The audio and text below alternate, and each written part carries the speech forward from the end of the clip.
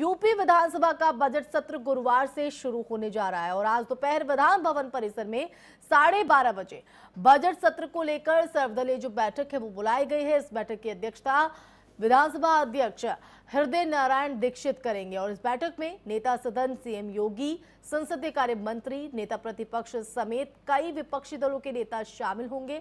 बैठक में विधानसभा अध्यक्ष और सीएम योगी सभी दलों से इस बात की अपील करेंगे कि विधानसभा की जो कार्यवाही है, वो सुचारू ढंग से चल सके। सर्वदलीय बैठक से पहले कार्य मंत्रणा बैठक की जाएगी। तो इस बैठक में कई मुद्दों को लेकर चर्चा होगी तो साथ ही ये भी अपील होगी कि जो सदन की कार्यवाही है, वो सुचारू रूप से ढंग से चल पाए।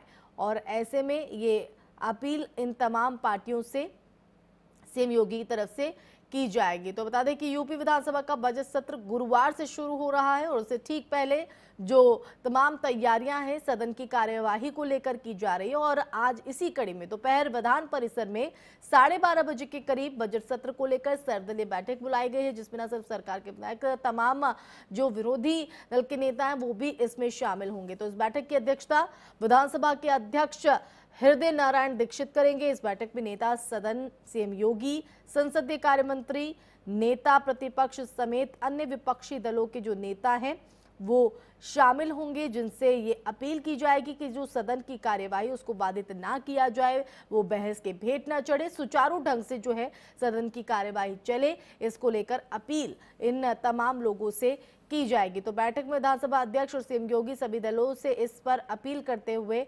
नज़र आएँगे।